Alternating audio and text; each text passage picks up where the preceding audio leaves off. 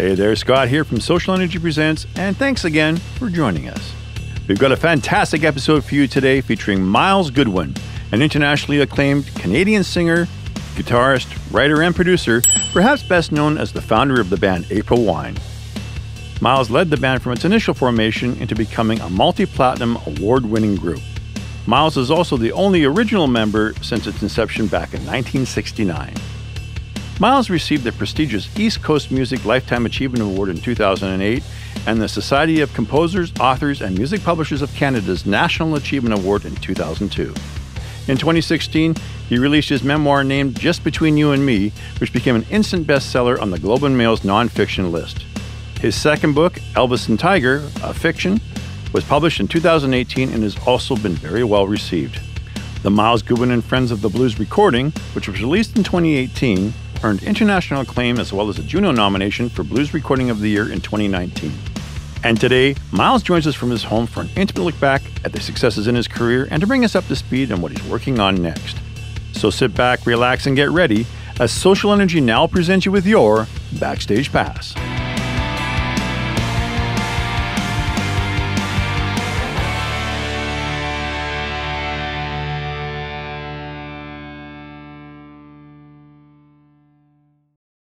Tell you one thing. It's really nice to see you in a place other than the Air Canada Lounge. yeah, yeah. I'm, whenever I'm on tour with Randy, because I play with Randy Bachman, and, and oh, whenever I'm on tour, it's like I seem to run into you guys in the lounge somewhere. yeah, that's the, that's the that's the thing about what we do. You know, we uh, we see each other in airports and backstage and things like that. Typically, uh, I think that when I leave this business, that the retired, that the one thing I'm going to miss the most is not seeing old friends. Because if I'm not on the road, I won't see them again. You know. I know. Interesting. You know, yeah. it's it's funny because I have such a, a deep history with you that you don't even know about. And one of the reasons being is that um, April Wine, uh, my hometown was Sault Ste. Marie, Ontario. Yeah. When you guys came through Sault Ste. Marie, Ontario, it was like the Beatles were coming you know, to us guys. And you were the first band I ever saw with smoke bombs and mirror balls and things like that. And I remember, what was it? What was your opening song? Mama. Um, oh, oh my God. Yeah and, it was great because it had that great pro what and you hear Jerry did smoke bombs and yeah I, think it's called Mummy You Know It's True I think is what it calls shuffle yeah yeah, it was, and it was a great opening. And of course, the first time I'd ever seen anything like that in my life. Mm. Like the only thing up until that time, I remember seeing on a, a the Doobie Brothers "What Once Were One, Once Vices Are Now Habits" album cover, and I saw smoke on the stage. I'm like, gee, I wonder what that is. And then I go to see you guys shortly after I saw that album cover, and all of a sudden, kaboom! it's gone. Yeah. It was awesome. And then you know, and I couldn't figure out how those mirror balls worked. I'd never seen one before in my life. You know, it's the same right. We don't see anything. You know. Yeah, I hear you. And I thought yeah. I thought there was actually a light inside those balls that was making them work. I didn't mm-hmm. realize it was the spotlight shining on them because it. Yeah. Was, you you guys had a really good crew. It was a it was a top notch show. Yeah, it was back when you didn't need a, a license too for the uh, for all of that. The pyro. Yeah, the pyro. It just oh. it, you did whatever you wanted to do, and yeah. so it was kind of dangerous what we did. Yeah. At the flash pots running across the stage and the mirror balls, of course, they're fine. Strobe lights on Jerry when he does his uh, yeah famous stuff. Probably one of the best drum solos ever. Yeah, because he's very musical. And the um, the canon that we had, we introduced with the album Stand Back in '75, yeah. was a real working canon. Yeah. And you know that was it was built for us, but it did fire confetti into the audience, and it, we used dynamite and the fuse and the whole thing. You know, um, so we had to be very careful that nothing ever was put in there on purpose by accident, maybe a Coke bottle or a nail or, you know, rocks, somebody were trying to be real, uh, real nasty about it. So, you know, we had to be very careful with the can. That was probably the most dangerous piece of pyro that we had. Uh, yeah. firing a firing a cannon into an audience. And the confetti, of course, would catch on fire. It would just float down over the audience, the yeah. front half, you know, sparking and everything else. And people kind of be patting them out when they landed on their hair, on their shoulders. I remember when we put Shama together, we were on the road and we wanted to increase our sort of show of, and we had a friend of ours build us some flash pots. And so because we were playing cabarets at the time, we didn't want the, the flash pots to be run by our sound man at the back because he wouldn't see if there was people dancing on the stage. So what we had was a foot switch on the stage so we could make sure, sure not, yeah. not to put them off in case there was somebody standing over them. Yeah, you can do that. Yeah. Well, then the foot switch shorted out one day. And I was, uh, it was just, we were doing a sock hop for some young, some young kids, the middle of the afternoon in Medicine Hat, Alberta. And so I, I, am there and I'm fiddling and I, I, I think I've got it figured out, you know. So I, I put the wire around the two poles and all that stuff. And I poured the gunpowder on. I'm going, okay, great. And then we had these big old soup canisters that we'd put over the top of them so that it wouldn't shoot this way, left and right out. And as I put the can over like this, it shorted out and blew up in my face. I burned all my hair off, my eyebrows, eyelashes, and all I could hear. And I had my eyes closed because I, you know, I didn't want to open my eyes in case I was blind. It was like a major explosion, and all I could hear was kids crying everywhere. it was I, like the worst way to start a sock op ever. Yeah, I, I know that's happened to other people. I've heard that kind of story before. Eyebrows gone, part of the hair, you know. Yeah. Now, getting back to that that that era because it's real special to me. I hope you don't mind. But what kind of gear you guys? I remember you were playing. I think it was like a melody maker, or was that an old? Yeah, I, I know that that's my melody maker, which I still have. Um, it's a '62, I think, melody maker wow. that I bought in Cape Breton in 1968. I traded it actually for um, uh, a Hagstrom is that right? Yeah, a bit of a Sputnik. I have little switches on it up and down, and um, a red one. And I traded even for that Gibson. That was the first Gibson I ever had. Uh, I changed the pickups on it, um, and I used it for years. Well, I remember Gary Moffet had one too. I think you guys almost almost looked like matching guitars. No, no, you never, never had, had a. He never had one. Never. Well, what he, had, he had Gibson TV model, I guess, for lack of a better. I forget exactly what it's called. Double cutaway they call it TV model. It was oh, white okay. or light colored, I think. Oh, okay. Yeah, he Gary had some great guitars. But my guitar was stolen. I think Randy Bachman got one back a while ago. I know. Uh, yeah. I know um, uh, the other fellow there, Peter Frampton, did.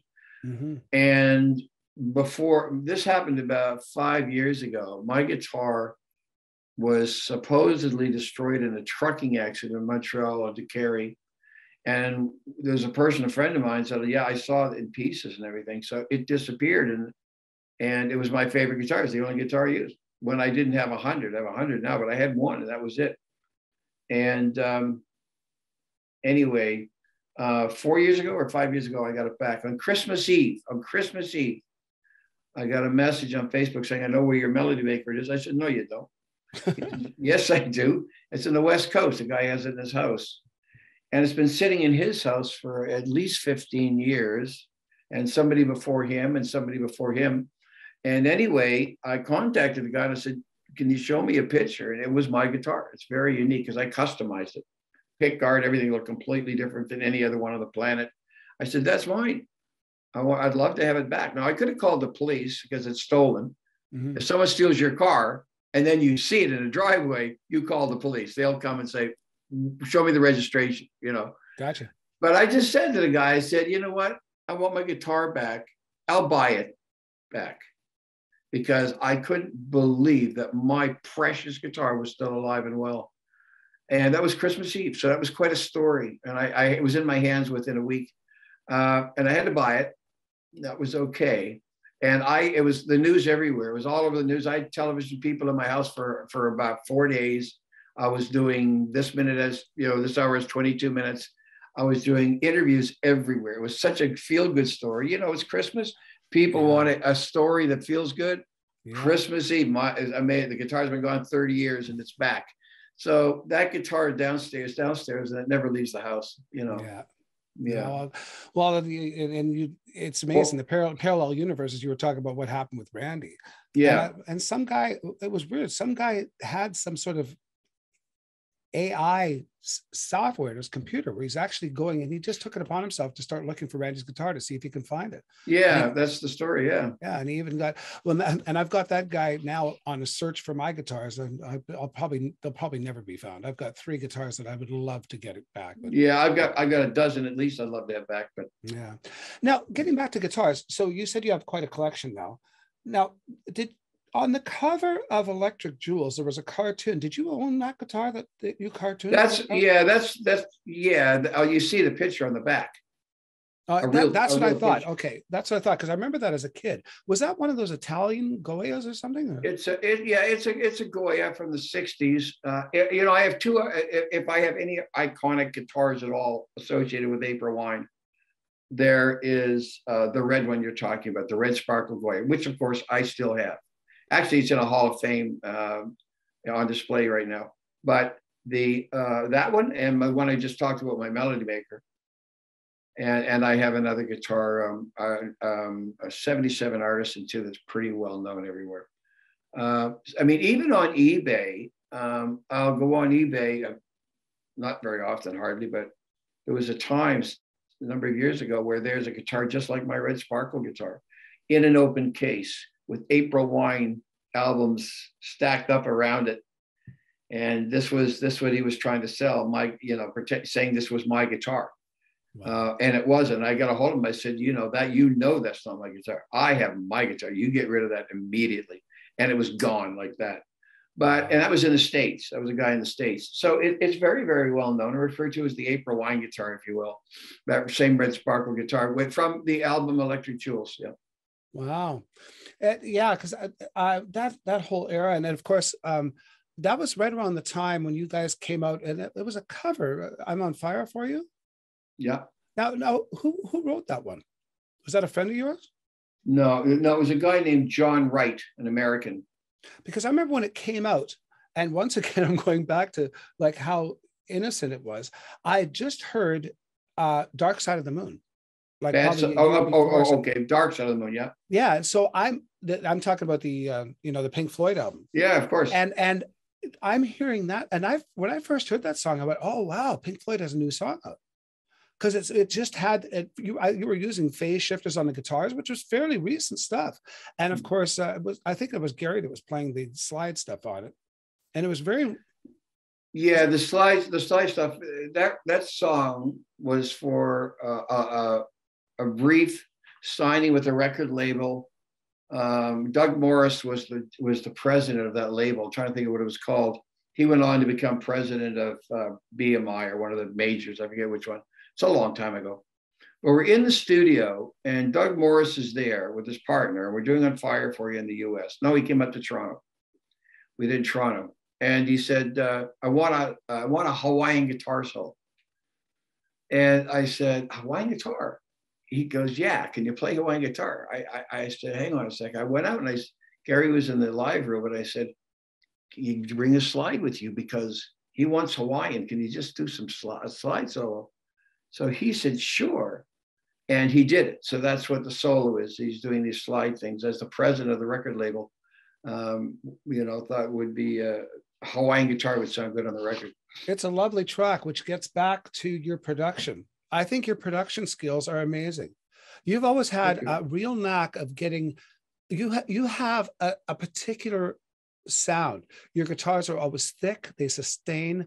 They they they're never abrasive they're they're they always sound sweet with without sounding ever wimpy. They're in your face. You've, you've mm. got a really good ear for for production. Thank you. Yeah, for most of our time, we used uh, Marshalls. You did, huh?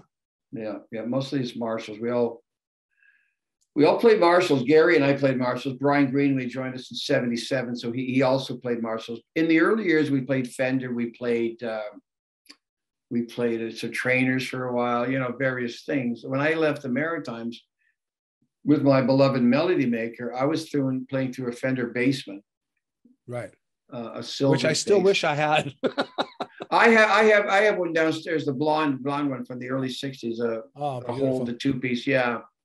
Uh, it is beautiful, and the and I was playing for speakers. I used two PA Traynor PA columns. Oh. So these two tall PA columns. I'm not very wide, only about like I guess they had 12s, but maybe even 10s. And there were two of them, and and my and my head, and I had a sound. I had a very distinctive sound. And uh, down here in Nova Scotia, where I'm from and where I am now, uh, when we started off, everybody knew me for my sound, and they were all like really liked the sound that I had. It was thick and it was creamy and it sustained and everything. And of course, I, I got rid of all of that uh, eventually. But Marshalls mostly is what we use. Although right now I'm into Vox big time, but it's only Marshalls. Yeah, but I mean, it doesn't matter. You give me, you give somebody an amplifier and a guitar, and they'll sound the same. You know, because they have their go-to sound, right? Oh, that's too bright for my ears. I'm going to just darken that, and I want some more snot on there, and I want a little more sustain there. That's the sound I like, and it sounds like everything else he does, mostly, right? I did a gig with Don Felder and uh, they, they, he had a backline strat they gave him, uh, uh, a, a um, uh, what the hell the uh, Ibanez tube screamer, and a Fender Deluxe amp, all out of Long and McQuade. And we do go to this gig, and we started playing Hotel California. I'm like, Jesus Christ, there's the sound. It's all in the mm. fingers, isn't it? You know. Just, yeah, I, the way you dial something in and in the hands. Yeah, yeah. Oh, abs- absolutely. And you know, somebody that thinks they're going to buy a Stevie Ray guitar and sound like Stevie is like it's ridiculous, you know. But um, yeah, yeah, you, you know, you find your sound and and then you play it, and there it is. It's all there. Whether it's Joe Walsh or me or you or the next guy, it's kind of we sound like we do. I got to ask you a question. This is like more on a, on a more personal level. Uh, do you remember a guy named way back, way way back, a guy named Sean Wilson? No. No, because Sean Wilson is a is a brother-in-law of the drummer in my first professional band, Shama. You actually saw Shama a few times uh, back in the day. You actually approached us one time on possibly wanting to produce an album with us. But really, says who? Sas- says who? no, no, seriously. I'm, we, I'm not interested. I, have never been interested in producing anybody but myself and April Wine. Although I had, I did done one or two things just for special reasons, but I don't remember your band or ever going to you saying, I want to produce you. Yeah, well, what was, was, it, was it two o'clock in the morning in a bar? it's possible. We, that would make sense. We were playing the A4 Club in Saskatoon, and you came down and you said, maybe you didn't say produce, but you said something about maybe wanting to do something with us. Maybe you figured, maybe you had an affiliate with Aquarius, whatever at the time, and you wanted to maybe bring us there. Well, I, I don't remember, but if you say so, I'm not disagreeing. I, I just don't remember. Yeah, oh, I know. Yeah, it, it, this that stuff happens a million times. But the name sounds familiar. The Shamus or Shama. We used to dress Shama. all in. We used to dress all in white, and it was like Angel. You know the band Angel. We had we had it was quite a production. There was a there, was, was, a, a really band, good band. There was a band way back in Quebec called the Classels, I think they were called, and they were all in white, and they had the big white coiffed hair. They wore wigs, obviously, because they were all the same. Oh. And that's back. There was a time way back in the, in maybe even the uh, sorry, I need these to see properly the distance. Uh, is um, uh, in the 50s, a lot of bands dressed up, didn't they? Way before Kiss. I know my cousin who inspired me to play uh, a guitar quite a bit. He uh, he was in a band called The Interns, Sonny and the Interns. And they all dressed like interns in a hospital. And, and, and all the groups back then were being very silly that way. Um, uh, and that's uh, that's before the Beatles. Oh, there, there, was there was a band out here. This would have been still actually early '80s, maybe late '70s. They're called the Barry Cup Blues Band. A really good band, but yeah. absolute nutballs. And they would they went up on stage and they would dress up as nurses, you know, with their hairy legs and all this stuff, and just like crazy guys. but what they what they did is that they didn't have a light show. What they did was they had a whole bunch of lamps, house lamps and stuff on the oh. stage. And so if the keyboard player was doing a solo, he'd go up, pull the cord, and the lamp would go on. He'd play a solo, and he'd turn it oh, on. I like, I like, I like that. Yeah, it was great.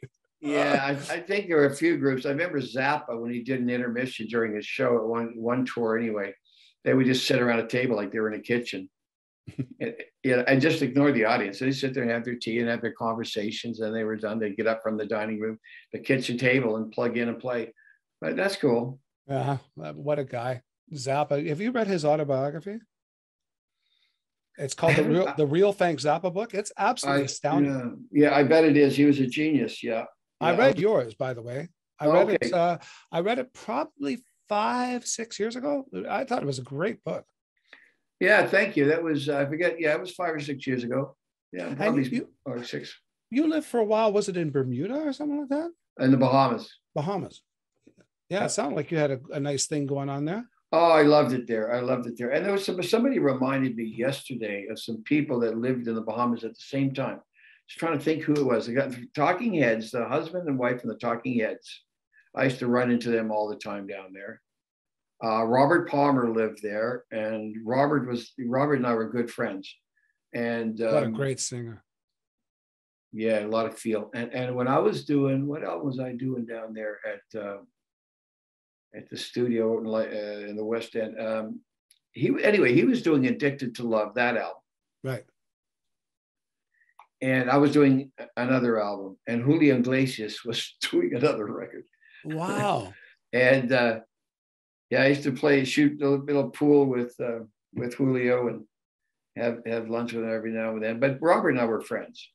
And, right. So so uh, you were doing a solo album. I don't. You didn't record an April Wine album down there, did you? I did one called "Walking Through Fire." Uh, oh, okay. uh, Walking Through Fire, or animal, animal, yeah, walking Animal Grace, I think it was.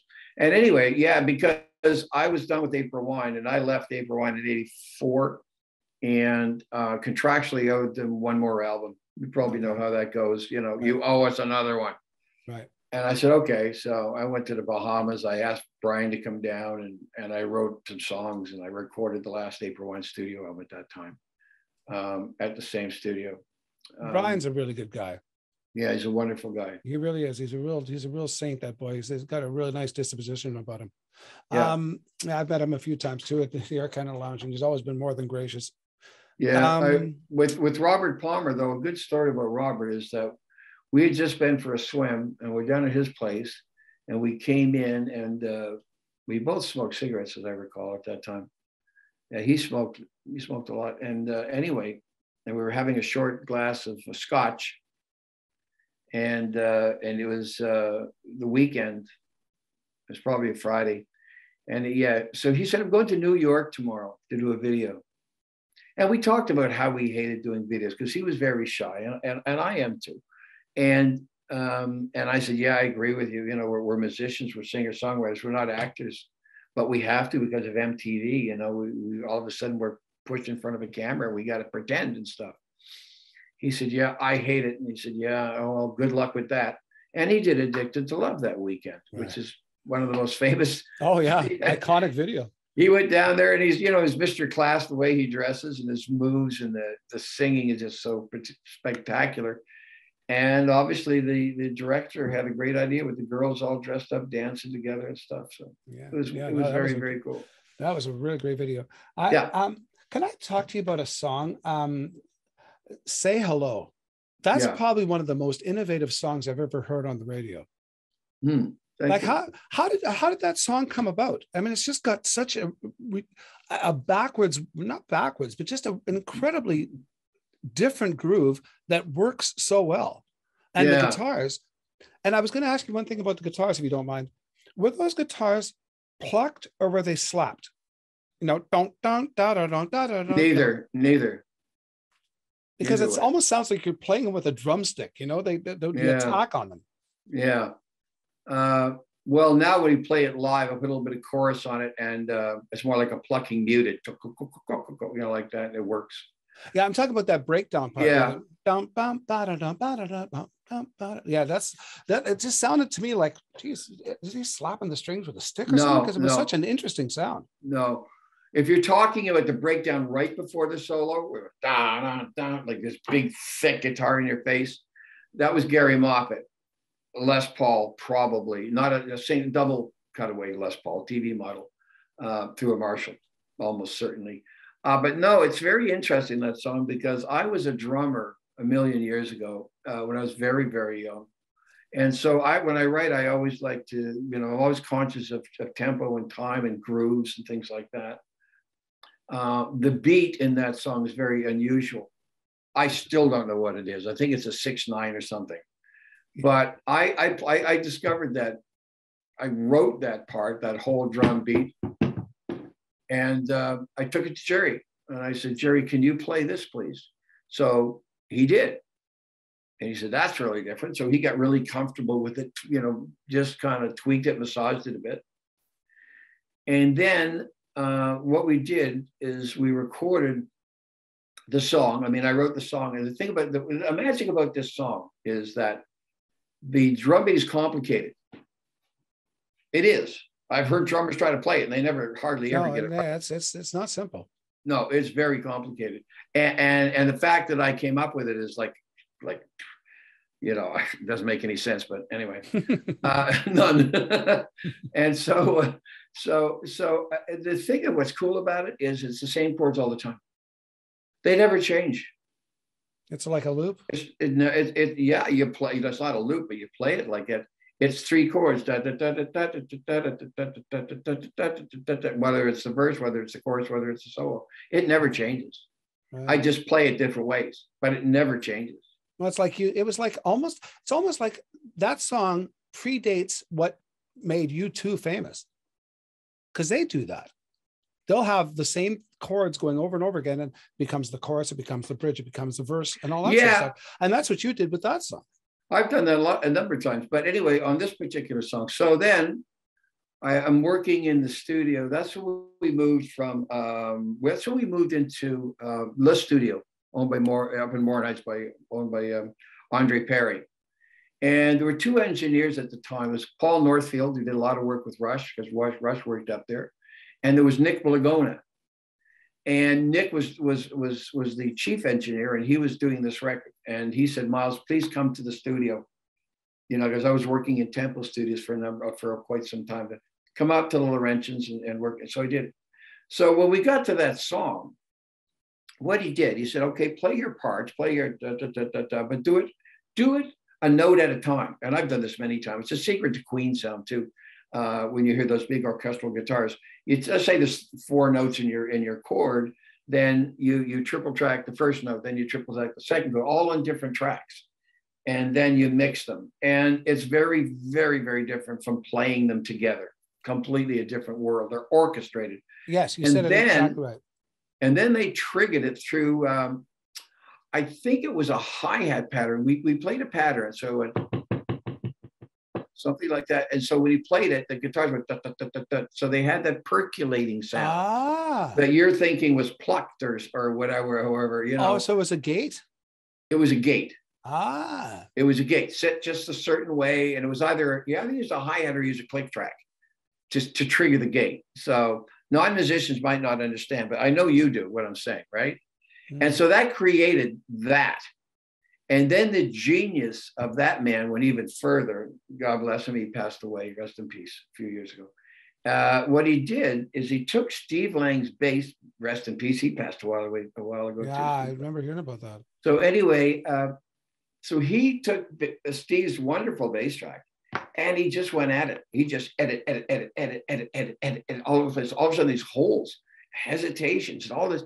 He created a bass track that every bass player goes, What is that? You know, how did he, how do you play that?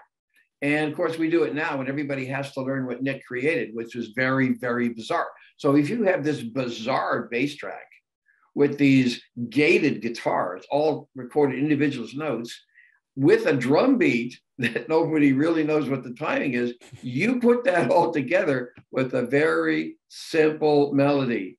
Yeah. Go living in the past. I believe the love should last. You know, very simple. And I sang it with Elvis in mind, you know, because I didn't think it was the kind of song that should be belted out. And so I, you know, I sang a little bit low, and I don't sound like Elvis, but it was in my mind. Won't go living in the past. It's kind of a low vocal for me. Right. And then the chords are all the same, all the same, all the same, all the same, all the same. We just we just arrange the different parts. But I've been doing that forever. I think the first time I might have done that was a song called "Tonight's a Wonderful Night to Fall in Love," right? From years ago, where da da ba ba da da ba da da da. It's all solo, same chorus, same verse, same. Yeah. Simple. Uh, another song I did it with. Let me hold you there. Did I not read in your book that that song was one of a very early song that you wrote that you revisited later? No, no. Which one that, was it? I wrote a song in high school in a in a in a school band cover band called Woody's Termites, and the song is "You Won't Dance with Me." You won't dance with me. Sorry. Okay, yeah. I had it wrong. Okay. No, I wrote. Go, go. I wrote to, "Tonight's a Wonderful Night to Fall in Love," and a song called "Wouldn't Want to Lose Your Love," uh, a piano song. Wouldn't want to lose your love. Yeah, beautiful.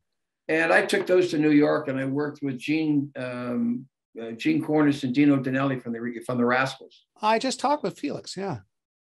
Oh, okay. I don't know Felix. I know Dino, and I know um, I know Gene. Well, Gene was from Canada. He was originally from Canada. Yeah. Yeah. And of yeah. course, Danelli's a, he's a New Yorker through and through. The drummer. What a, and what a drummer. Yeah, and, a sweetheart. Um, and so they say, come down to New York, New York, because they recorded an album in, in Halifax called April Wine Live. We recorded at a high school, and they wanted to work with April Wine. So they recorded that, and that was our very first live album. And the Melody Maker, of course, is all over it. So anyway, um, they said, "Well, let's do a studio album. Can you write me a couple of songs? Write us a couple of songs and come on down to New York." And it was like this. It was it was moving very fast. I said, sure. So I wrote Tonight's a Wonderful Night to Fall in Love, and I wouldn't want to lose your love. And it went down. And we recorded that in New York, um, those two songs. That's just an aside. I just wanted to mention that. I w- I wouldn't want to lose song. your love. I, we actually did that song with Shama. Oh, yeah, did you? Oh, yeah. I love that tune really good one. Yeah, that you see, I wrote that on piano. I don't write too much with piano. With the, with this particular, you know, the thing is, I bought a piano after hearing Elton John. Elton John came on, changed every, you know, a lot of people's lives, did mine. You know, like some, suddenly, sometimes an artist will come along and that's so different, and you love them for what they do. Which brings me and, to the next question. Yeah. Like you, you, the first time I heard "Bad Side of the Moon," of course, was you. What a what a great freaking song! Elton John. you guys approached it was incredible. Well, what was a, yeah, Elton John magical song. song. Hmm. And so, anyway, um, uh, uh, oh yeah, so Elton John. So I got a piano for free, and I moved it into our little band house. And I, my rationalization was like, I want to play something on the piano. If I can write a hit on this piano, that'll be all worthwhile, right? Right. So I would I wrote "Wouldn't Want to Lose Your Love," which was in Canada hit. Mm-hmm. So that was really nice. But I don't write on piano very much. I also wrote uh, um, "Like a Lover, Like a Song," oh, which oh, yeah. is a little, a little, more complicated, you know.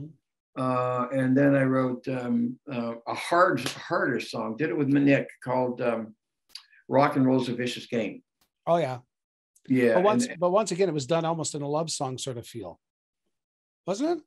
Mm, not really. Uh, which which one? Um, Rock, Rock and Roll's a Vicious, Oh game. no, no, I, I was, I was. I, I always thought that uh, that's uh, yeah, that song always struck me as a love song with different lyrics. I don't know why. well, maybe because it's slow, but yeah. it gets real heavy. Like you, you know, the lyrics are like he rocked his way through yesterday, thought he had a chance, played guitar and wrote some songs, sang some songs of love and romance, something like that did a share of traveling like a dog without a bone, a fugitive who would rather give, uh, something without a home or something, something like that. Pretty heavy lyrics right. because I was thinking about Elvis. And then I started thinking about Janis. And then I started thinking about Jimmy and all of these people that succumbed to the lifestyle. Right. But then, more important to my heart was that I wrote it for the guy and the gal that loves music more than anything. And they want to be uh, successful. I want to be a star, you know, and and people with more talent than I have um, don't make it, and it's heartbreaking, you know, because there's a lot of luck and all the rest of it. You know how it is, a lot of hard, hard work. Yeah. And um, and I wrote that for fan people that wanted to be a musician.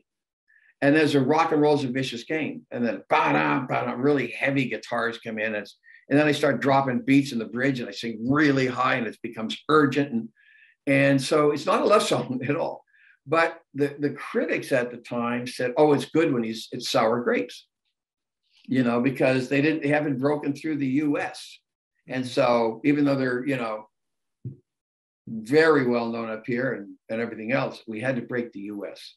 And uh, which which we which we did at that time. Um, I remember you guys getting quite a bit of press in the States for the whole world's going crazy though. The whole world's going crazy. The whole because I, I, remember I remember an article in Circus magazine at the time or Cream, one or the other, about the kiss of the North. And it was you guys.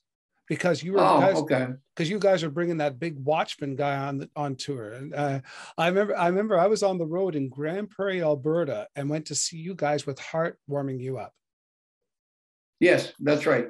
Uh, you talking about the Mad Hatter? Mad Hatter, pardon me. Yes, the yeah. Mad Hatter on stage, the big mache character. Yeah. yeah, yeah, that was that was a lot of fun. Well, that was the time we were doing the Cannon, and then after the Cannon, which was Stand Back, which is my favorite April Wine album. Yeah, that was a great, great album. I love that album. And so after Stand Back, then of course it was. Um, uh, I think it was Electric Jewels or the Mache. Uh, the whole was going crazy. That's right. The Mad yeah. Hatter. And then uh, you know the, the, we talked about the pyro and the flashes and the bombs and the and the, the black lights. Uh, the, the, I had a guitar. I still have it downstairs. One of, I've, I've, had it for like ever. I had it since it was hair to my tits, you know, and and uh, wearing Nova Scotia plaid jackets and, and pumps like this, ridiculous uh, that long. Um, it's downstairs. it's it's downstairs, and uh, it weighs nothing. And it's an SG that's sweet as sound. Oh my God, it's so sweet. It gets so high and it just sings every time. I've used it on my blues records, my recent blues records. I've used it with April Wine forever. And they painted the knobs in a day glow paint, and then we get day glow lights and the dots and everything. So all of a sudden we go black and just the day glow lights, and it was just a guitar would be floating around on stage while I played it. You know, that was during that time. Yeah. Uh, That's cool. Talking well, about the, the Stand Back album, I mean, it, there's a lot of hotels right now that are cursing you guys for all the uh, fire bells that were stolen for drummers to do a cover of "Who What a Night." yeah, Oowatanite. Yeah, yeah. I bet you there are. Yeah, I know because we did. I just I just saw an interview. Somebody sent me uh, the, the hockey commentator. What's his name? The famous one. Uh, oh, Don. Um, yeah, not Don. Not Don Cherry. His uh, no his partner. Ron. Ron, yeah, Ron MacLean. Yeah, Ron MacLean. I said they sent me a video the last two or three days. People sent me videos saying, "Oh, look, Rains, he's talking about April Wine in the first show he ever saw, and Oowatanite and the Bell and everything." You know? Yeah, well, he was from Red Deer. Was he from Red Deer? Yeah, he was from Red Deer. Yeah, he was. Yeah, he's he's he's quite a good guy. I've met him on a few occasions. He's a very nice guy. Just he seems to be a nice man. Yeah. Yeah, he's he's not. It's not a put on. He's actually that good. But yeah, no, that um, and and of course Jim Clench, we lost him too. You know. Yeah, we did. Yeah. And uh, yeah. I, I remember seeing Jim after April Wine when he, uh, for a period, he was actually in the early stages of Loverboy. Yeah, he was with uh, BTO, wasn't he? Uh, he was with BTO. Uh, uh, BTO, I think, happened after Loverboy. Uh, he was actually with okay. For a bit. yeah, that rings a bell. Yeah. Yeah. And then he went with BTO when uh, Randy had left. And uh, yeah, they, they, brought him in, and Fred went to guitar, and they did an album. Uh, Jim yeah. Jim Vallance produced it. I remember that. Yeah, rock and, yeah. Rock and Rock and Roll Nights, I think it was called. Yeah, I don't know, but you know, I, I was thinking at the time we're good for Jim. Yeah, yeah. But it just didn't work out. Yeah. Yeah. Um, but yeah, no, that that that there's that's the thing is that you guys well and especially you being the head honcho of that band the band wouldn't have existed without you. Um, you guys were everything to Canadian mus- musicians because you hit all the centers, i.e., Sault Ste. Marie, that most people ignored. And so mm-hmm. it meant something to people like me who wanted to be in the music business to see a professional act. We didn't get guys like you playing. Yeah, no, it was it was a natural thing, right? It's it's just what you expect should happen, and it did with us because Donald K. Donald, the promoter, who was uh, representing us, and he was part of the management team at the same time, Terry Flood Management. He says, "Let's you know, let's let's just go to these small towns and let's bust them in and let's go across the country. Let's do this this tour. It's never been done, you know, like this. Let's do it."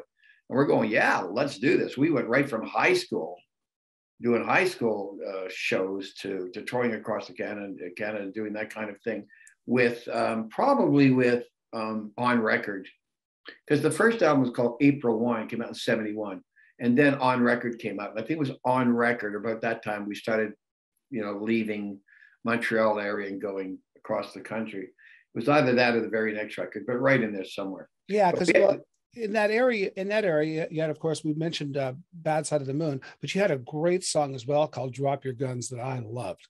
Drop Your Guns, yeah, that was on the in the middle with the guitar harmonies and yeah, that was you. In fact, I've been playing with April Wine recently, de- de- uh, dedicating it to the people of Ukraine, the war over there. Drop your guns, Russia, and you know, piss off. Um, but anyway, Yeah. um, so uh, that was on on record. Yeah, David Henman wrote that. Nice, nice video, by the way. Drop your guns. I saw your, I saw your video that you did for the Ukraine. Oh, oh, okay. I mean, I did that real fast. You know, With the whole thing with you with that is that I was watching like the rest of the world what was happening in the, in the Ukraine. You know, and it was becoming more horrific and more horrific. And I never write about politics, Mhm, and I never write about religion. I leave them alone. Mhm. And so I sat on my hands for for weeks, watching this in my house, and just like so heartbroken. And then I said, "Oh, to hell with this! I'm going to write something." Because I mean, that's what we do. Mhm. You know, that's what folk music is about: con- folklore, passing, you know, things on, and and all of that. So I said, "I'll write something." So Tuesday, I woke up about a month ago, Tuesday, and I said, "I'm going to write a song." It was done the next day. I was in the studio Wednesday. I was in the studio Friday. I did the video real very quickly over the weekend. It was out the next week. And it's got a lot. I'm, I'm headlining a Ukraine function tomorrow night. I'm working with the Ukraine Canadian Congress, the president actually. And I'm doing uh, interviews constantly around this whole thing with Ukraine, which has been wonderful because, you know, it, it just to inspire somebody to open their wallet, because that's all we can do from here. Mhm. And I did it not because it was any kind of career move. It's not about me at all. Never thought about it for a minute. This is just how I felt about what was going on there. And so I'm glad you liked the video, I guess. Yeah, no, I just I, I found it touching and and and of course uh, important. You know, it's just important, and uh, it's nice to see that you doing that. I know it. I I knew I felt that you were you were doing something that was generally away from what you your norm, and it was nice to see. Well, if I may just talk a minute about it, not just that anymore, but the thing is, that is the last song that's on an album called Long Pants. Long Pants is a songwriter's album that I started 42 years ago, hmm. and I never finished because it didn't fit anywhere. Okay. I say 42 years because my daughter, I have one daughter, and she's 42. And I came home from the hospital in the wee hours of the morning, the morning she was born. And I walked into my studio at home.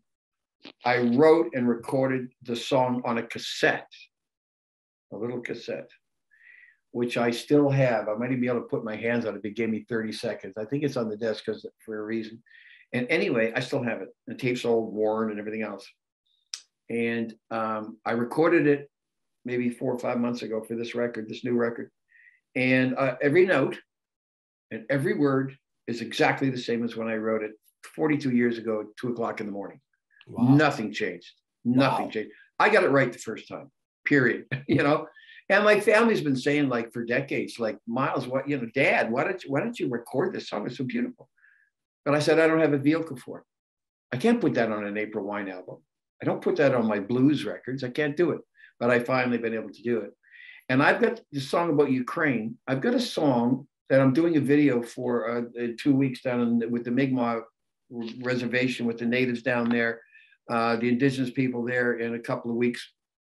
Um, uh, and it's about missing and murdered indigenous women Mm. in North America, right? Very important to me because my my partner, my life partner, woman of my love, love of my life is native. So, and when she's hurt and crying and everything else, it, it affects me. When I hear how they're treating her children, they're hurting, but they're doing the same to my children because of our relationship. So that's why I write about that. And um, and uh, um, uh, Jackson, Tom Jackson, you know Tom Jackson, Yes. most famous probably, Yeah. along with Jay Silverheels from Tonto and the Lone Ranger Yeah. and, and a couple of others. He's right there as a singer, and he's a he's a he's a, he's a wonderful man, uh, and he has a beautiful voice, wonderful voice, deep voice, rich and, and resonant. So I got a hold of him, and I told him what this was about, and I said I got a section in the middle that I'd like you to do. Now I wrote lyrics; these are all the lyrics. You can use these, or I would prefer you write your own.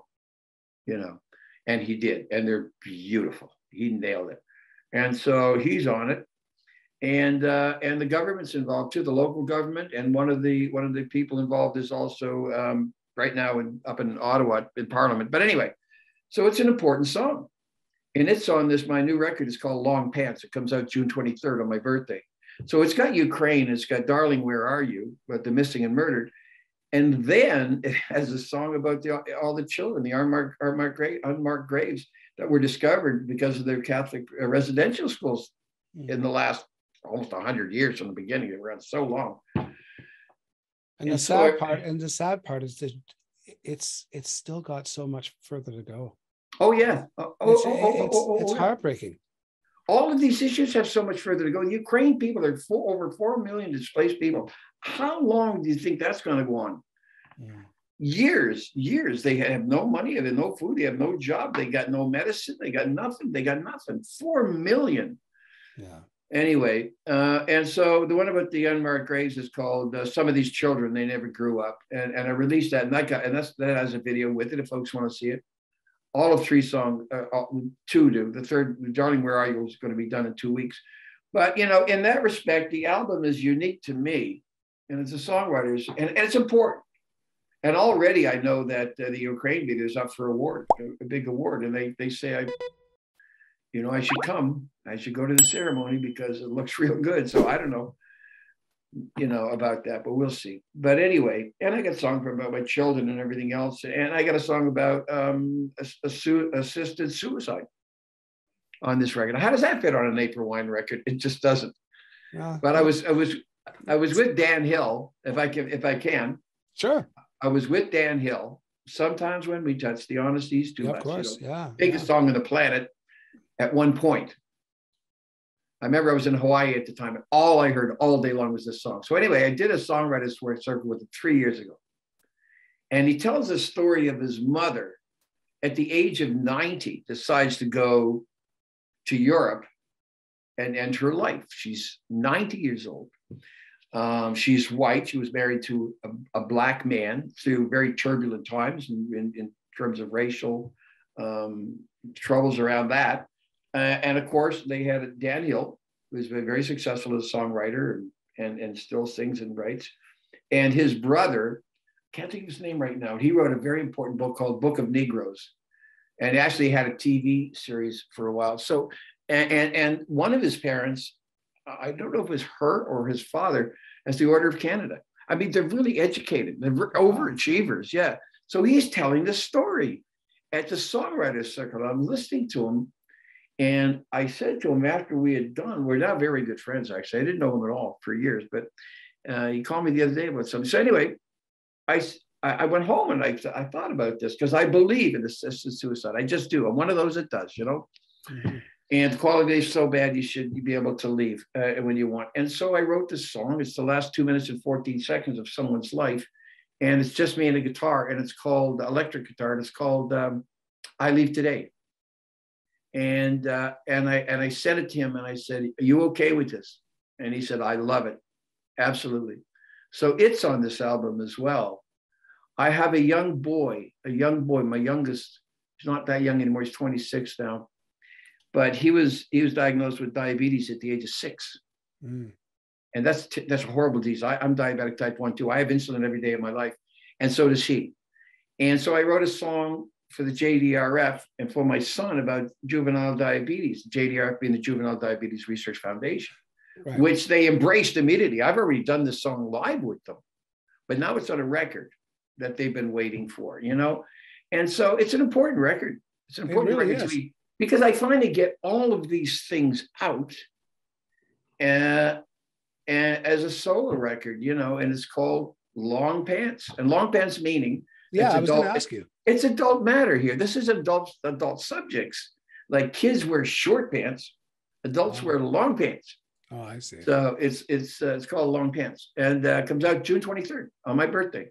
Oh, so for you, that, yeah. That, it seems like you, you really you really swung into just making your statements now.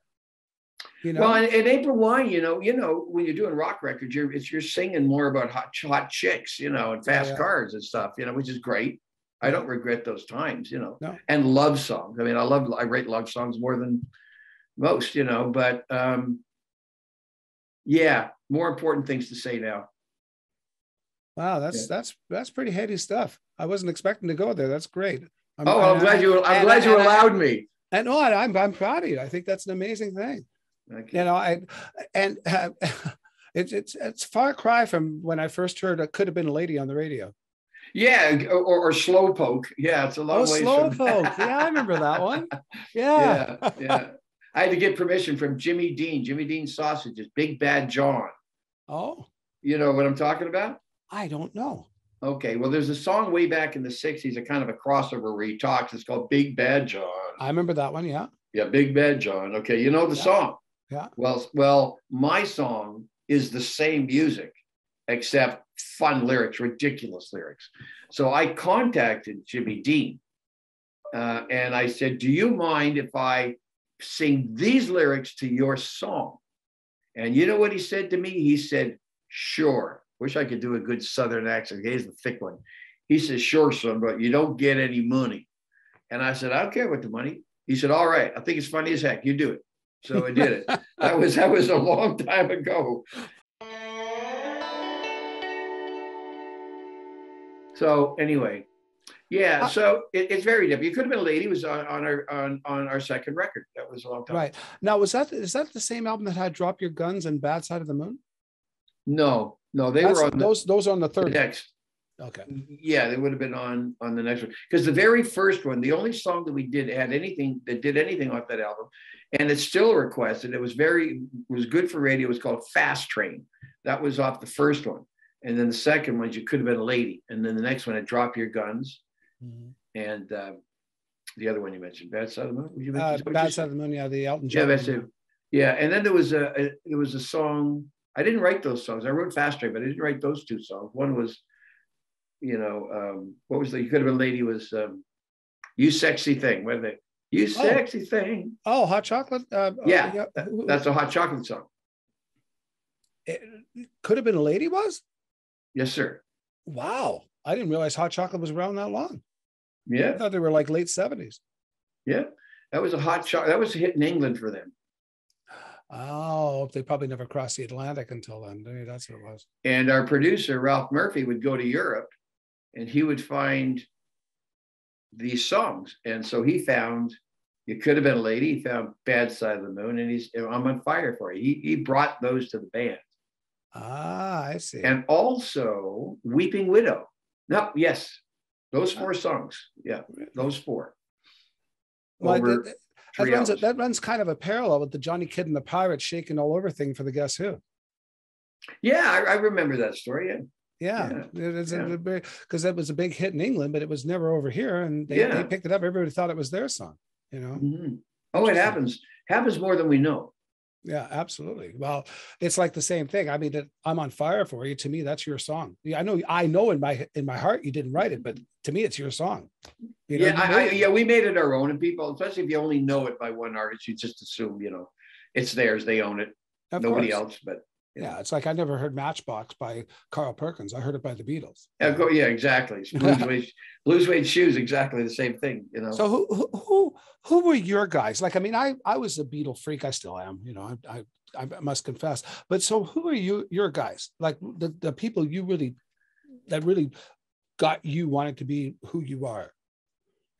Well, the, I'm a Beatle baby like you, I guess. I, I I don't know how old you are, but when they came out, I was just at that right age. You know, grew my hair long, had the Beatle boots, and our band tried to look kind of like the Beatles, that kind of thing, and uh, and so major influence and like a, a lot of the world and musicians, we realized we could do it all. Because before You that know- was all the Bobby acts.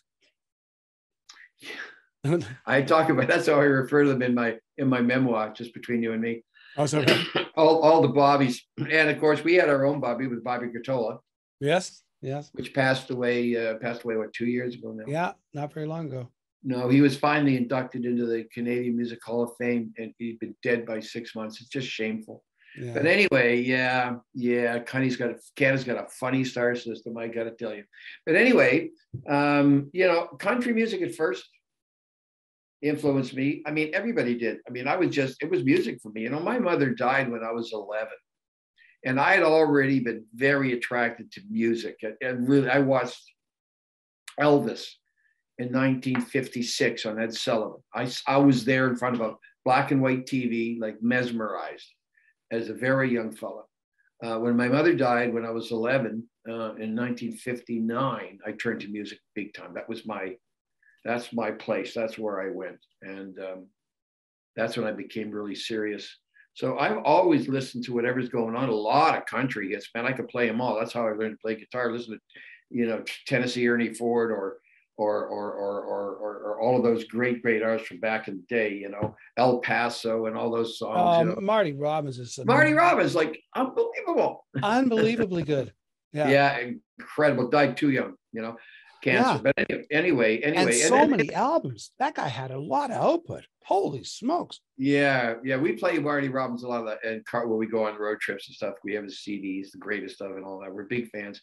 My partner and I. So anyway, um, and then the Beatles, of course, with the British invasion. Then I loved everything British, everything from the Rolling Stones to the Beatles to everybody else, Dave Clark Five to you name it. Yeah. Uh, and then, of course, in, into Zeppelin, things started getting heavy. Albums started being made yeah. you know and back then uh, i was subjected to everybody everybody was just i was like a sponge you know loving it loving it yeah there's a yeah i i'm i'm I, i've been a stem collector for quite a few years i have the stems of a lot of stuff and uh, so it's like stems from Abbey Road, and I got the stems from the Led Zeppelin too. What does stems mean? What do you mean? Um, basically, just the, the uh, individual tracks, uh, like the, the multi tracks of the albums. Oh, so I've got most generally uh, the stems means there's sort of so um, you won't have all six of or let's say eight or ten of the drum tracks, but you'll have them mixed down to like four to six, maybe something like that. Mm-hmm. So they're they're, they're submixed into stems. Uh, okay, so, what what format? Uh whatever you want. I got waves wave file. They're all oh, waves. Or, okay, wave files. Yeah. Uh, or yeah, I, have got a way of uh, uh, what what do you call it? extracting them into what I need. so oh. I, I got to be. Are they not? Are they not for sale for anybody that wants to buy these things? Oh no, because it's it's it's. It, I mean, it, it's good for guys like me and you to trade. You know, or, or just I could. I, oh, if, you uh, want, if you want to hear something, I could send it to you. You know. No, no, I didn't want. I didn't mean you specifically. I mean, just can people just buy them if they want. Something. No, it actually it actually started a friend of mine. Well, Jim Vallance, you know Jim. Yeah. Uh, and and so Jim and I are like old friends and Beatle freaks from way back, and and so he he sent me the Sergeant Pepper four songs from Sergeant Pepper. I'm like, where the hell did you get these? He says, well, I can't really tell you. Well, then I started hearing from other people, and I started going on the net. I was finding all this stuff, so now I'm sending him things and and going back and forth. We're having a riot with it, you know. Oh, that's, there's, there's that's, people that's out there that collect them. Yeah. Yeah, that's very cool. Yeah. But um, now I gotta I gotta ask you something, and, and it has to do with the chronological uh, member changes in the band. When you when I mean April Wine first started, when you first broke, let's say when you first broke, uh, there was was it was it two brothers in the band with you? Yeah, that was uh, David and Richie Henman. Yeah.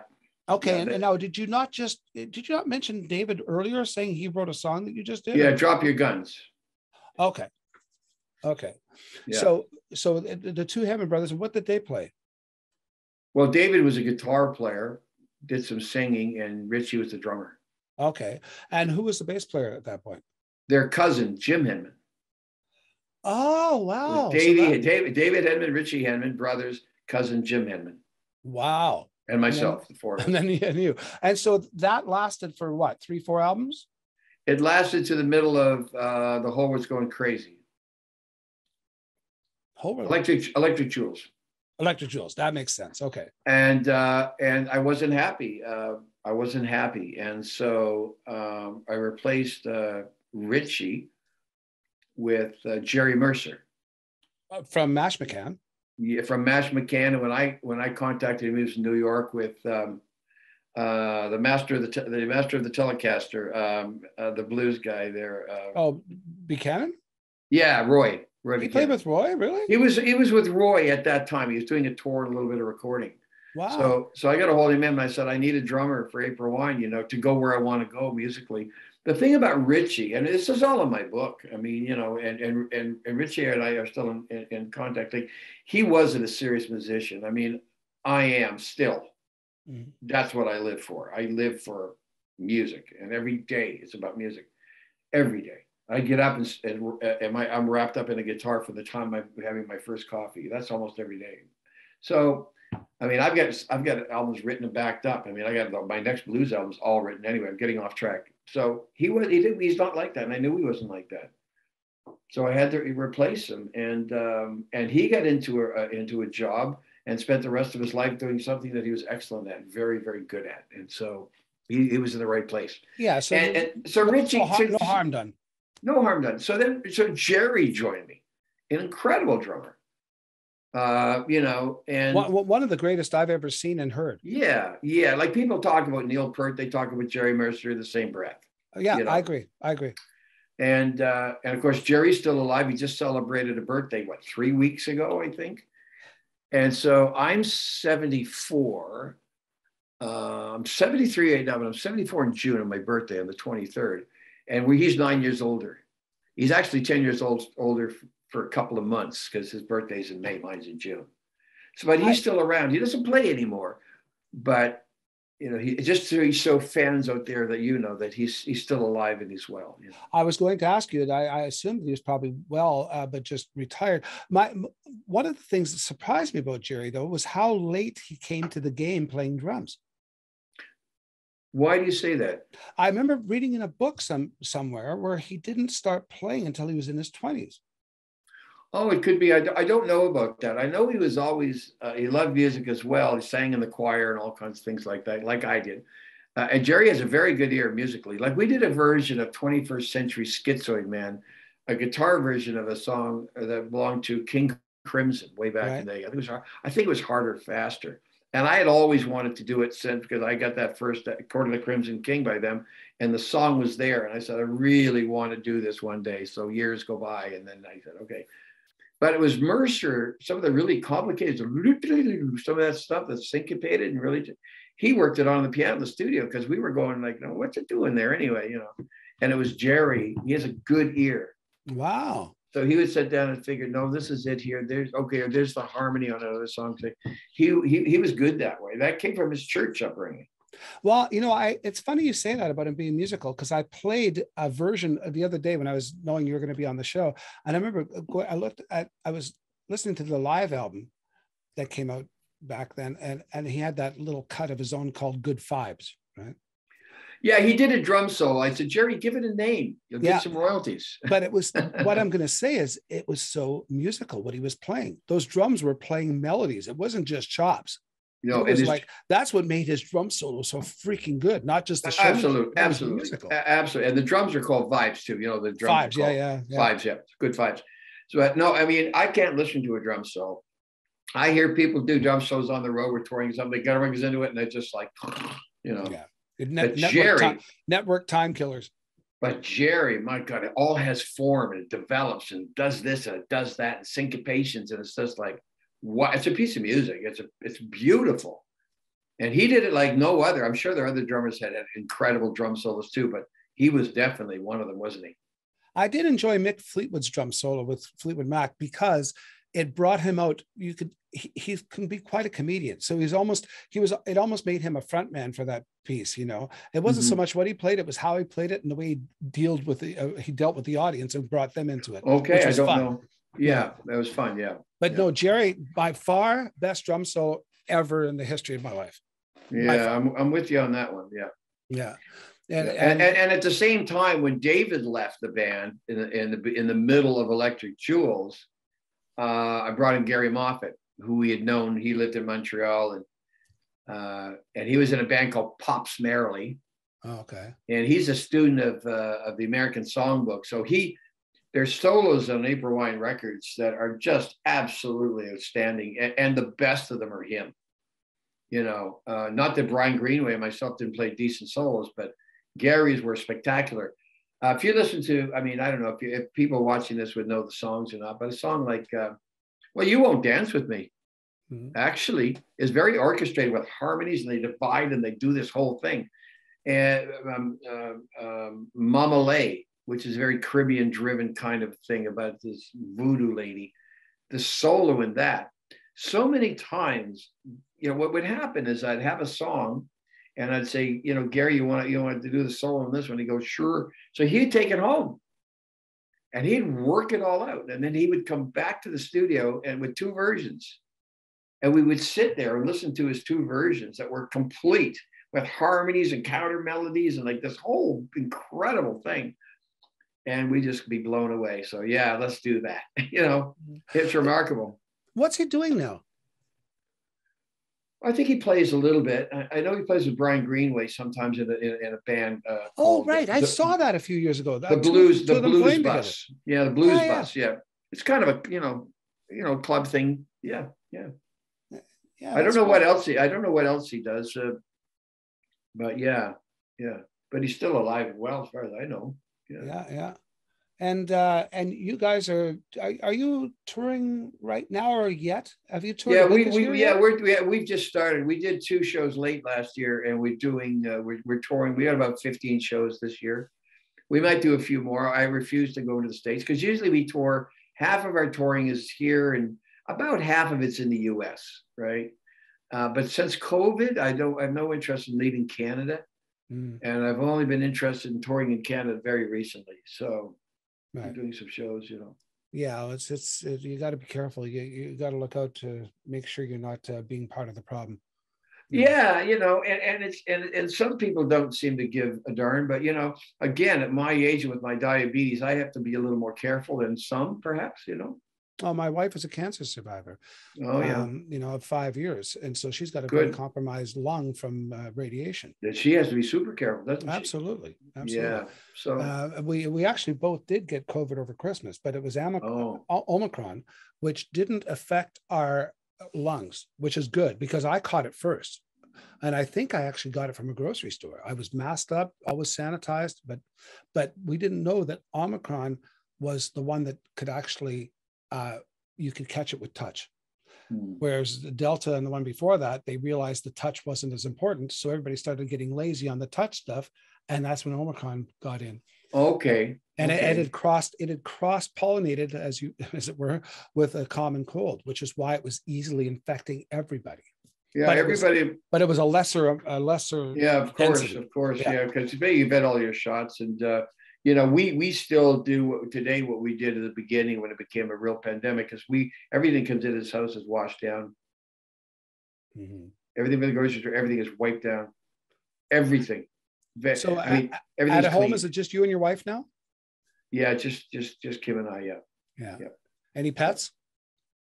No, I don't have time for that anymore. I wish I'd love a dog, but no. Yeah. Well, for the first time in my life, I actually have a dog because yeah. I didn't allow myself to have a dog before because nobody would look after it. But now I've got a, a, lovely wife who's a dog freak, and I've turned into the world's biggest doggy daddy. So yeah, um, yeah. But but at least I know when I go on the road now that the dog is well. The dog's after. okay. Yeah. Yeah. That that was my main concern, you know, because. Uh, I don't want to ever bring an animal into a home where it's not going to get the utmost uh, love and care all the time. Yeah, my dogs I had two. I mean, when beside as an adult, one is uh, both of them were golden, golden oh, retrievers. Oh, beautiful dogs and my first one, uh, Archie, uh, Archie. Archie, yeah, Archie. And my recording studio was called Mound Sound. It's in my book, Mound Sound, because he would leave all these little presents outside as people trying to make their way to my studio. Says, oh, watch where you walk, watch where you walk, watch. Archie's been out here. Uh, so they called it Mound Sound. Uh, and Archie would sit at my feet I don't care how loud it was. April wine, Marshall scream and everything else. He'd sit at she, he'd sit at my feet, just like this. That's where she wanted to be with me.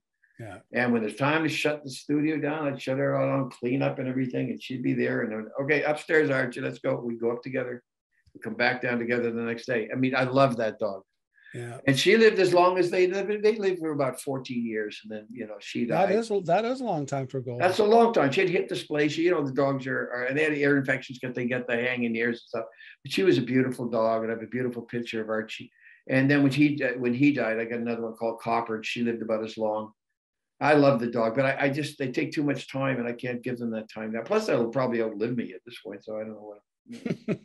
Who knows? They'll be looking after me one day. let's take Myles, let's take Myles for a walk. take take Myles for a drag. Yeah, let's go drag Myles around the block. Yeah. I was gonna say, uh, yeah. Well, Jenny's normally in here with me, but I, she's upstairs with Mummy right now. But she, she's usually because this is my studio as well, and uh, so she's usually in here with me no matter what I'm doing. She just lays beside me and just enjoys it, you know yeah, yeah, that's cool. Yeah. Yeah. yeah. She's, she's a she's a rescue. We got her uh, uh, December of 20 because we had to put our dog, uh, my our dog Bella, which was my wife's dog for 15 years, and uh, de- Bella developed lymphoma, And uh, mm. so we had to, we ended up having to put her down. And we had discussed that when it came time to put Bella down, because we knew she was getting older, that we wouldn't get another dog because I wanted Kelly to travel with me and not to worry about a dog. Yeah. Well, then of course it's COVID and stuff, and Kelly is going to bed crying almost every night because of Bella. It's like that was her whole life, you know. She she loved that dog. The dog loved her, and so she started looking at dogs uh, rescues from Mexico and so right. we uh, we we adopted Jenny on the 19th of December of uh, 20, and um, and and so last Christmas we bought each other the Embark uh, DNA test, which is apparently the best thing to find out what she was because we couldn't figure out what the deal was. They found her on the streets of Mexico, skinny as a mm. rail, by the way. Find out that she's like this far away from a purebred cocker spaniel. Mm so that you know she was obviously bred for money for many many years and then once once she became too old to breed they just out in the street you go and there she was running in and out of cars and skinny as a rail and yeah we we we saved a dog like that in uh, punta cana a place down in punta cana on the beach and she looked like she was right out of a, a disney movie just beautiful beautiful dog but you know her feet her, her claws were all big and twisted and homeless Aww. and Aww living off scraps. So we were eventually able to get her adopted here in Canada, somebody on the West Coast. There's a trail just outside our backyard, and there's this guy that's walking these two dogs. One of them is a very healthy looking, sort of uh, German Shepherd sort of cross, and the other one is like you say, like a you know a, a golden, but it's yeah. it's it's basically it's walking, and its back legs are either dragging or hopping behind it and so I walked up. I said, "Well, what's going on?" he said, "Well, it's the rescue from uh, Puerto Vallarta, and we don't know what they did with this dog." Oh, okay, yeah, it's another one from uh, the yeah, crate. and it's it's it's got marks on its feet. I don't know what the hell it was. It's terrible. He says it's it's he says it's actually much better now. He said when we first got her, she was in a wheelchair. She she yeah, couldn't do anything. Yeah, yeah, a lot of stories like that. It's really really sad because you see them when you go on vacation. Cuba, places like that, you see them, and they just are the side of the road rooting through through garbage. Anyway, uh, I know we've been talking a long time, and you got a shitload of editing to do. No, no, any, it's, that's all good. Anything else you wanted to? to I, I do. I have one more thing to ask of you. I, I've I've got some random pictures here, and I want you to comment on them. Can you do that for me? I'll try. Okay, great. Okay, I'm going to share the screen here, and we'll see. There we go. You see that? Yeah. So, so you on the left, and that's Steve Lang beside you. Yeah. And then Gary. Moffet. Gary Mo- Gary Moffet, Brian Greenway, Brian Greenway. And, and, we can't and see all Jerry of Mercer. Jerry, Jerry Mercer. So I that's that's got to be seventy seven. I'm thinking. That's harder, faster. Um, period. That's in Germany. We were touring in Germany, and they decided to do a, a little photo one afternoon.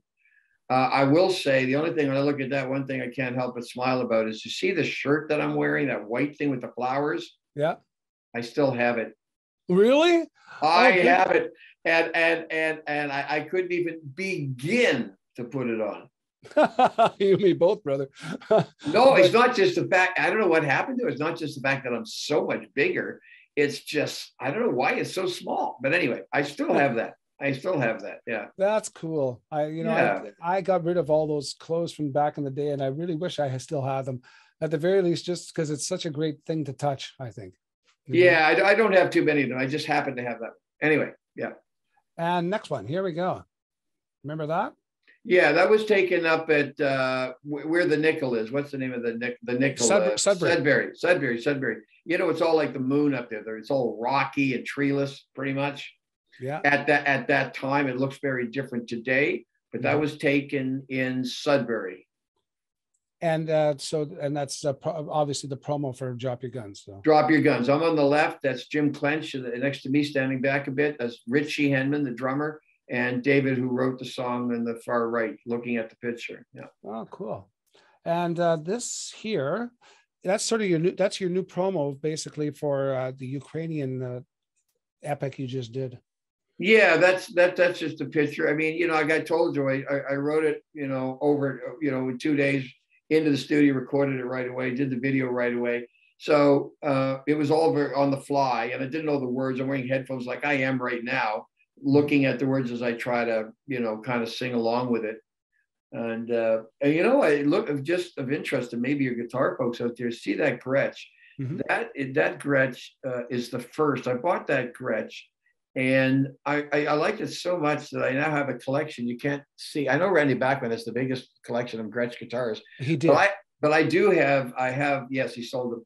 I have five Gretsches now, and and and uh, and uh, the collectible ones are really nice ones. You know, I love guitars. Anyway. Yeah, I know. There's something about them. I don't. Maybe it's the shape of them. They're like a woman or something. and they, something else. Something else I'd like to say. You see the microphone. I just realized it. That's a that's a uh, that's a, new a Neumann uh, 87. Oh, that is U 87. Okay. I bought I bought that years and years and years ago. It was slightly modified uh, for me, and I've been singing in it. April Wine Records, Blues Records. I mean, I've been singing everything through that microphone. When it's done, it comes home with me, and when it's ready to sing, I take it back. The is same one. The same one. Yeah. Well, try to buy one new these days. Try to buy one used these days. Yeah, yeah. One like that would be very, very expensive today. Yeah, yeah. It's interesting. Uh, you know, you're talking about uh, you getting your guitar back, and Randy, of course, what happened with him getting his guitar back from that guy in Japan after yeah. all these years. That's what started the whole Gretsch thing.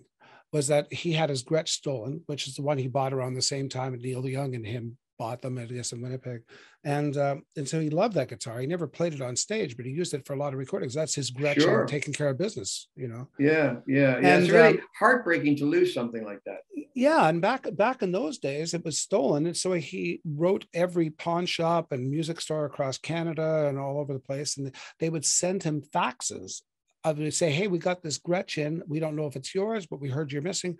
He'd get a picture of it and he'd go, Okay, well, you know, that that's not mine, but how much do you want for it? And so he'd strike a deal and he'd get that Gretsch. Then it was this Gretsch, this Gretsch. Well, that kept. Yeah, they're so beautiful that once you start, it's like you get addicted to them because they're like no other guitar. And, and, and most of us didn't really think of getting a Gretsch, the rockers. For one thing, it was on the wall above and away from everything else. You could hmm. never put your hands on a Gretsch. They were like the Rolls Royce. Yeah, especially the White Falcons. Yeah, well, the White Falcons and, and the other great guitars. And uh, anyway. Yeah, but anyway, so he he ended up amassing pretty much every Gretsch made. In fact, I think he did some of them in two or three. So of course he had made friends with Fred Gretsch over the years. And yeah, so, yeah, I know, I know, I know that. Yeah. And then Fred Gretsch was had just gotten the rights back. I think for a while the the manufacturing of Gretsch was gone to a, a an offshore company or something and he so he he had got it back. But in the meantime all of his templates were burned in a fire. So he, knowing that randy had all these Gretsches he says can i borrow your Gretsches to make new templates? Because i want to start manufacturing again. Mm-hmm. and randy says okay i'll do that as long as you give me all the prototypes. So he doubled his collection new and old on everything. Oh he's a smart smart move. Yeah. i guess you know if you want them yeah if you want to hang on to them. It's funny you know i find with about i got about 100 guitars and i feel very strongly now that I don't need a hundred guitars. you know, and and they, they never see the light of day. They're all put away. I mean, Fury guitars for the guitar collectors again.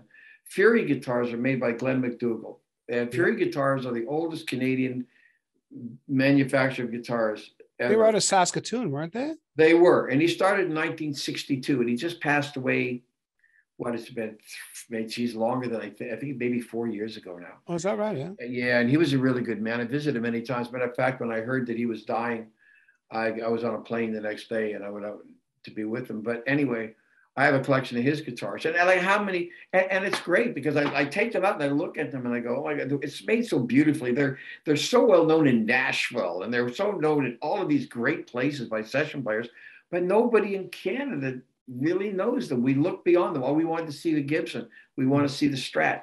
We didn't want to look at this Canadian-made guitar called uh, Fury, but they're better than most guitars manufactured anywhere. Oh, so many times I forsook, I, I would forsake the Traynor amps for other things, and now I would give my left whatever for a Traynor you know, to because they're hard to get because they're worth a fortune because they were really well made amps. But we, yeah. we didn't we didn't respect them because they were Canadian. How stupid yeah, are we? You know? Yeah, because they were they were. It's funny because I have I have a great one downstairs, an old one from the seventies, big heavy thing, and it works beautifully. It's got tremolo, it's got reverb, and, and it's it just has a sound to it that's unique on its own. But I remember back when uh, when uh, a Traynor. Um, what was this the first name? I, I tend to say Steve Traynor because I know it's Pete, Steve. Pete, Pete, Pete, yeah, Pete, Pete, yeah. So Pete got a hold of me Maybe he got a hold of Bachman. I don't know. He got a hold of me years ago and wanted me to go to his to, to his shop and listen to his stuff and to see if I had any suggestions as a guitar because he knew me from my guitar playing and so forth, and April Wine, of course. And so I remember one afternoon going to see him in Toronto, in Toronto area somewhere. I forget where it was. It was a very long time ago, in the 70s. Yeah, so it was nice to meet him, and uh, you know, I don't know. Well, I think they were based out of Yorkville, so maybe that's where. yeah, was. Yorkville Sound, Yorkville. Yeah, mm-hmm. that was, that, that's a good good memory of uh, Pete Traynor you know, and I have one of his one of his great ones downstairs. I think it's a really nice one. Just ahead, right? Yeah. Yeah. Tell me about this. Yeah, that's that is uh, not a good picture, and that's um, that's the first spiritual song that I ever wrote. It's on Long Pants as well, and uh, I did it with I have an acoustic trio. We tour actually we're coming and doing a tour up in Ontario um, uh, in June, and uh, and I play about 20 shows, 25 shows since COVID down in the Atlantic provinces where I feel it's a little safer in our bubble. But anyway, we do this and it's a lot of fun. What's, and, the, pre- what's the premise of this song? Uh, that's where I'm getting to that. So Sorry. my tr- my trio does this John uh, Glenn, uh, uh, this MacLellan song, Jim MacLellan song called "Put Your Hand in the Hand." Right. We did on the Christmas Daddy show, and it was so well received that I said, you know what, people really like the spiritual songs. I want to see if I can write one my first ever. So I wrote a chorus and I went to my partner, Kim, who's very religious. You'd never know it. And I went to her and I said, honey, here's, what do you think of this? And by the time I'd finished the chorus, she was crying. And I said, I, I, I said, you like it? She goes, oh, it's, it's beautiful. And so I finished it and uh, I recorded it. And it was so funny. And this is the truth, folks. I was in the middle of writing this song right here, with the last voice I hear be an angel. When I got a call from Los Angeles, um, uh, from Spirit, some, and, and, they wanted me to be a judge in a spiritual songwriting contest. and I said to the, I said to the lady uh, in charge, I said, "Why in the world would you contact me?" And she says, "Because we like your songwriting. Are you interested?" I said, "Well, guess what? I'm trying to write my very first spiritual ever. I will do this. So I became a judge. And I and I finished the song. Serendipity. Wow. I know. And then I get all of the, you know, the song was so well received everywhere. And then one day I get a call from this this this magazine. It was set up. They wanted to talk to me. The Pope reads this one. This is the one the Pope would read. It's so straight and so religious, hardcore. It's been around forever. And I said, Oh my God, can I handle this? I said, Okay. So we, we had a nice interview, you know, and um, uh, people were really taken with the song. I, I, I, think it's a really lovely song and people love it too. And uh, yeah, it's my first spiritual. This it's is a, a, it's a this great, is from the video. It's a great title. Like that's an incredible title. Yeah, yeah. Well, that's the chorus line where the last voice I hear be an angel um, saying, "Take my hand and walk with me." Yeah. That's the short version of the chorus. Yeah, it, it's about reflection at this at a point in life. Again, why it's called long pants. This is adult right. stuff, you know. That's yeah. cool. And we we spoke about this before, but here's bringing up the uh the picture. Yeah, there's the same shirt. yeah, there we go. That's and there's there's my there's my melody maker. I got it back in exactly the same. I could have walked on stage. Not a damn thing had changed with that guitar. It was set up, played beautifully. All it was was a guy had it in his in his in his house in the stand for people to talk about. And you'll see there's a star on yep. the top corner. That's the only thing missing. Everything wow. else is, is exactly the same. Uh, you can see the picture uh, where, where, you know where I was younger, and uh, and the guitar is a little bit bit newer, but I kept playing it and playing it. And you can see it's all worn down around the pickups, right through that uh, that covering. But yeah, that's it. Is that the guitar I would have seen in Sault Ste. Marie back in the oh, day? Oh yeah, oh yeah. And are those P90s in it? What is what? What's the pickups? Well, you know what? I've never opened it up since they, since decades ago that I put them in, but I think there's some kind of uh, DiMarzios. Oh, I see. So they're not the, they're not the original pickups. No, I said to that to you before when we talked about the guitar earlier uh, today. Uh, they're not the original. I, I really don't. Oh, think... right. Yeah, you did say you swapped out the pickups, right? Yeah, yeah, yeah, yeah. Okay, cool. Okay, there we go. That's a, another shot for the uh, yeah, that's my Martin D45. That's that. Those are nice guitars. Yeah, no kidding. Love them. And there's one of your new promo shots. Yeah, that's for my acoustic uh, act that I do. Yeah, and and and it's funny because all the April Wines hits that we've talked about, almost like ninety percent, all written on acoustic guitar, hmm. and even Roller. I like to rock. Say hello, all written on acoustic guitar on on my 1947 something Southern Jumbo Gibson, I which like is to, here in the office. As a matter of fact, I like to rock. Must have been a lot of fun to make with the you know the uh, Day Tripper and Satisfaction licks and all that stuff at the end. That was that must have been fun to do. Yeah, that was a jam in the studio. Yeah, that was yeah.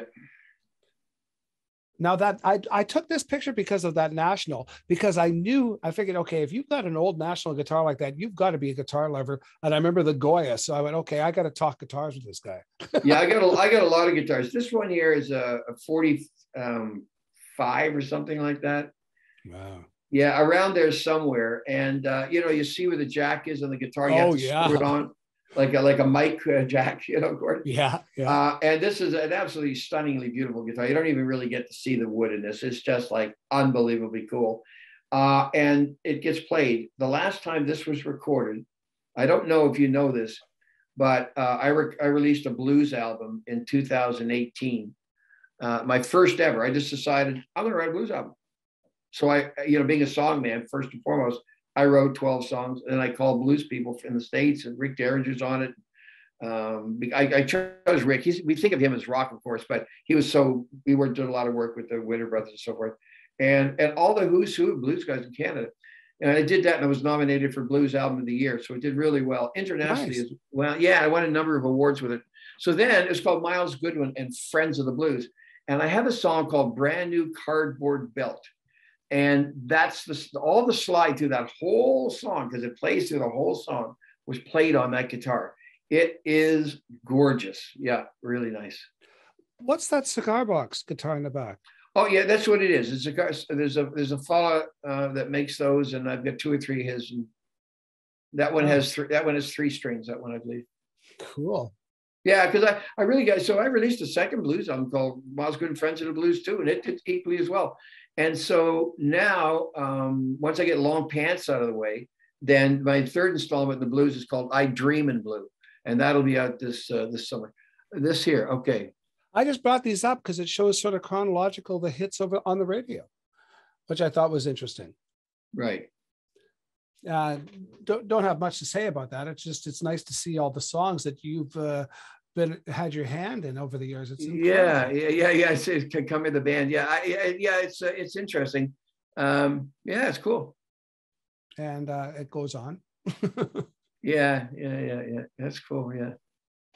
That's great, and I believe that's the last picture. It's once again from your. It's another angle the, from the same. Yeah, that's the acoustic. The acoustic show. Yeah, yeah. I'm doing. I'm doing something like this for Ukraine. Uh, the a crane benefit tomorrow night or afternoon. Now, did you um I was going to say, do you happen to remember where you got that national guitar? Do you remember the circumstances of when you how you got it? Oh, I don't.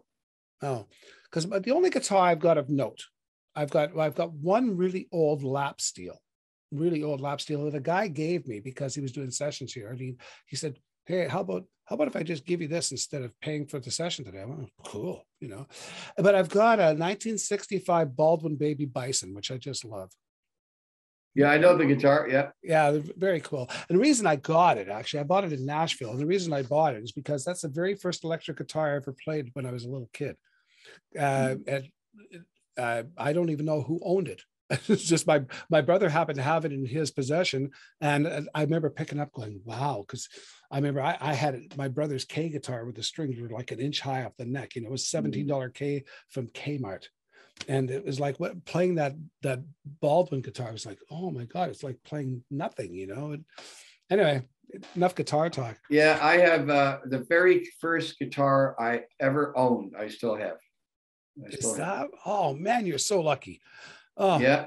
Oh, I, it, it, it, disappeared too. You know, this this wasn't new, newsworthy, but it disappeared. I started, Dad. I said, "Here, Dad, I don't need this anymore." I left home. I, I, you know, and I only got it back about ten years ago because one of his girlfriends had it. She said, "Oh, Frank wanted you to have this." He looked after it, and it showed up in a hotel in in in in, in uh, Vancouver. The lady at the desk said, "I got a package for you." So I went over.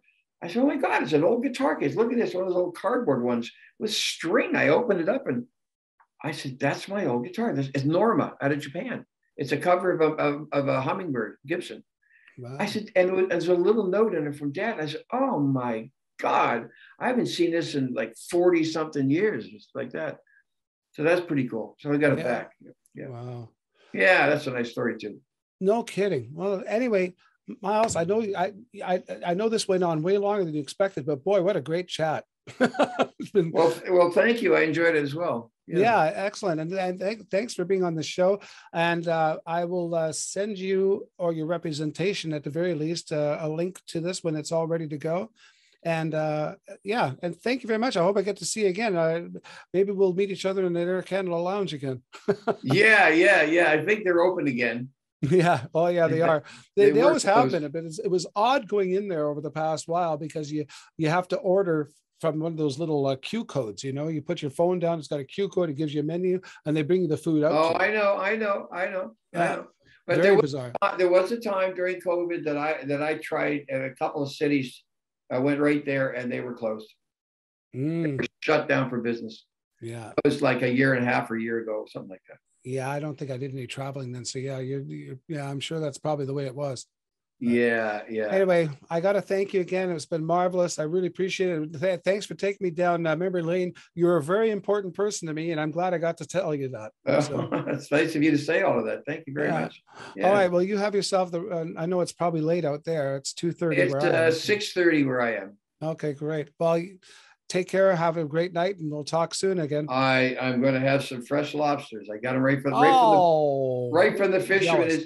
I was standing on the dock as he was coming in with his boat, loaded with lobster, and I was like, "Hey, Peter, the captain, like, can I get some lobsters?" So that's how I get my lobsters. We have a cottage. Uh, on, we have a cottage down in the ocean there in Musquodoboit Harbor, and, and the dock. I can walk to the dock where the, they come in with the lobster. So I'm having lobster tonight. And, oh, uh, cold, cold Atlantic lobster, the best. Oh, it's the best. I, I it's funny. I, uh, I had a, uh, I had a tour with Randy, and one of our dates, I had a few days off. So I, what? Oh, I don't know what it was. I was in Sault Ste. Marie, my hometown, visiting, and then we went out to the East Coast for a couple days, and then there was another period off before we would continue on probably in Saskatoon or maybe no I think we actually I think we continued in Chicago but uh, I went so I went to Prince, uh, I was on Prince Edward Island and I ordered huge boxes of lobster and had them shipped with me to Sault Ste. Marie and had all these people over. I couldn't believe how many people in my hometown had never tasted lobster in their entire life. so it was like this incredible thing. There was like 30 people eating lobster at this party. It was, I felt like a hero. It was great. That must, that must have been pretty noisy. I remember one time in Los Angeles, record label, big, big table, lots of people. They brought in the biggest lobster I've ever seen in my life. It was a freak of nature. it was it was big enough to serve like 15 people or something. Oh. And I remember at the time, I mean, maybe I'm not remember correctly, but I know it was at least it was at least a, I, I keep thinking it was 110 dollars because I said what back when you know back when that was a lot of money for a lobster. Trust me. Oh yeah. Uh, and uh, he said, "Oh yeah, we spent 110 dollars on that guy." I said, "Wow," because it's enough to feed, give uh, some to everybody, and it was it was huge. It was huge. Yeah, back when you would have paid five for a lobster, let's say. Yeah, maybe not even. Yeah. Right now, today, uh, well, I don't know exactly what they are, but it's over ten dollars a pound easily. I, I, don't know exactly how much, but I get them right for the fisherman cash. Here we go, and uh, that's one of the perks of, of being down here yeah, yeah, it is. Yeah. It's a wonderful place. All right. Well, take care. Have a great evening, yeah. and we'll talk again soon. Yeah, say say hi to Randy. Uh, I, I will. Yeah. I promise I will. I, I won't be seeing him for a bit, but uh, I will tell him. I, I, I know somebody told me the other day because he has a, a, vinyl show or some radio or something. I don't listen to the radio, but anyway, he said um, he said here's a song I wish I wrote, and he played "Say Hello." Yeah. Oh, no, there you go. Well, because yep. it's because the guitar riff is awesome. That's why. Yeah, eh, yeah. Eh, people like it. Yeah. All right. Take care. You too. All the best. Bye now. Bye bye. Thanks for joining us. Check out our many other episodes and vignettes for more great content. And please like, share, and subscribe, and become a member at socialnrgpresents.com to access all our content and earn valuable energy points just for watching.